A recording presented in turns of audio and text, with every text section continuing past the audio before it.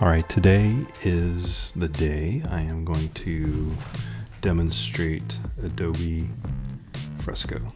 So I'm starting out with opening up the app. And it's very much like any of the cloud-based um, applications now. You have a library of work that you've made in the past. Will come up and I'm going to start out with a new letter size document, 8.5 by 11. Here you will see the ability to make new layers by hitting the plus sign, or I can access the layer actions. And in this case, I'm going to delete that layer because I made an extra layer that I didn't want. This actually turns things on and off, little eyeball, and that'll become more apparent once we get some more layers going. And then that's just the layer action in general you can access without actually accessing a layer. Bring in a photo of a sketchbook page. So I hit photo, accesses the photos on my drive of the iPad, and I'm going to select this image right here. So now it's loading this image out of my sketchbook, and I'm pinching the screen and while I'm pinching, I'm kind of rotating so I have some access to um, this document. So I've got this placed. I'm going to roughly size this up a little bit more. I'm going to hit done up in the right hand corner. And drag this to the left and make it a little less opaque because I'm going to use this as a guiding layer for my drawing. Going. see it's pretty grayed out at this point, and I'm going to move this layer down below that clear layer, or the new layer, and then I'm going to click on this, and I'm just going to lock the layer so I don't actually draw on it. Going over here to the left, and I'm going to, this top row are pixel brushes, and right now, you have quite a few brushes to choose from. I've also brought some brushes in towards the bottom. Um, different brushes from different manufacturers. There's some Kyle brushes, some other brushes I brought in. I'm going to go to my favorites and I've added some to my favorites.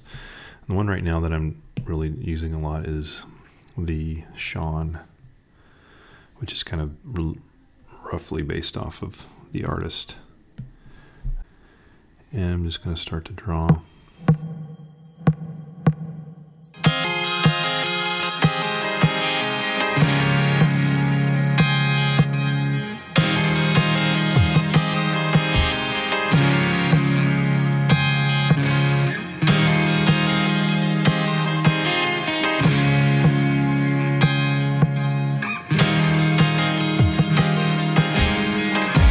This point, I'm pretty much finished with that underdrawing, that layer.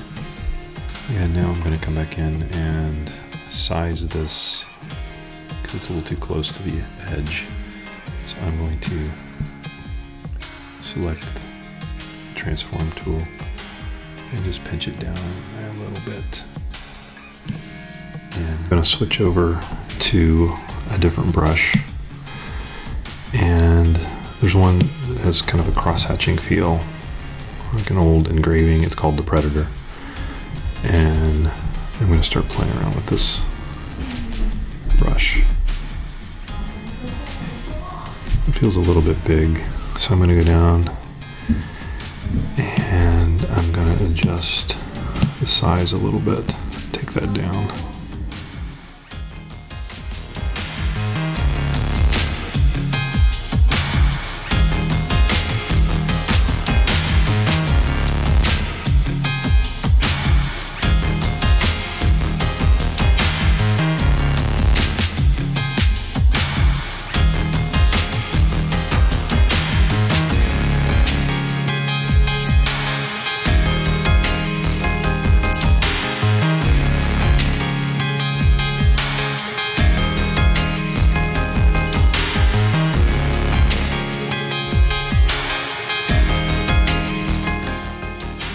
Now it's time to work on some color.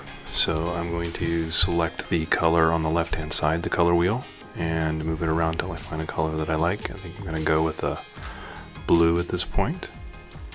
And then I'm going to create a new layer for my color to keep it separate from my black line.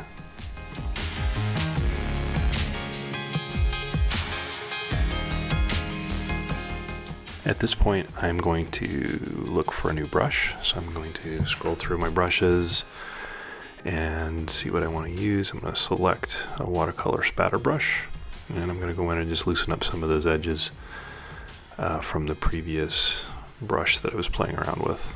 Just kind of exploring. I like seeing if I can kind of emulate some of that watercolor feel. And then I'm going to go back and select a new color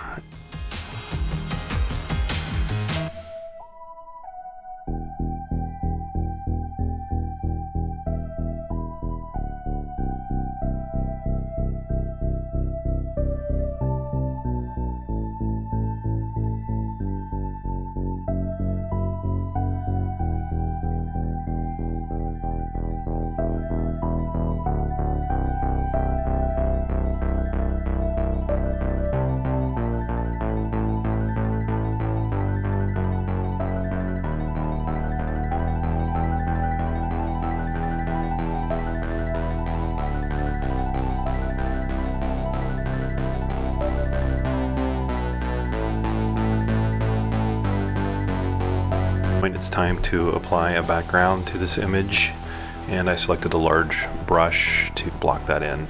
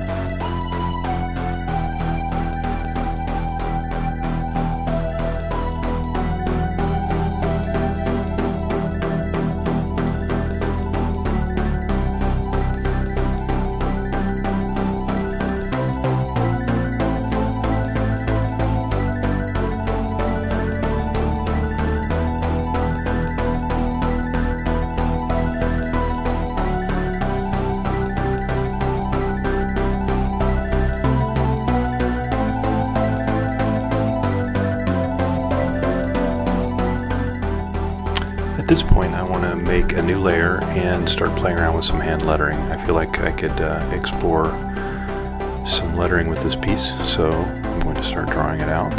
And I really have no idea what I'm doing at this point, but the piece, the color felt a little bit like spring. Uh, looking at the figure kind of emerging from that garment feels like maybe flowers or nature coming to life in the spring, so I'm going to go with that.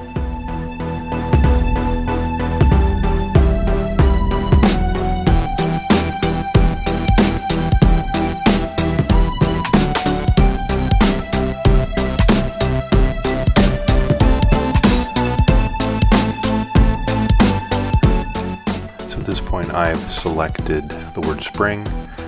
I've used that with the selection tool that's on the left. And after I've made my selection, I'm going to duplicate my selection so that I can make a copy of the word spring because I'm going to then take it and change the color, and use it as a drop shadow. So I'm going to then lock the transparency so then when I apply a brush to it, I can then change that color without uh, impacting the surrounding area around it.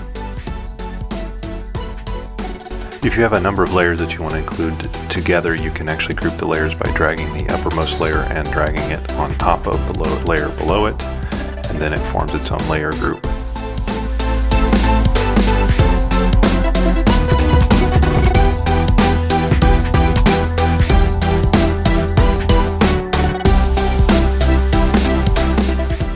Now as I look at the background of this piece, I decide I want to put a pattern into it. So I'm going to put a spring themed pattern in the background.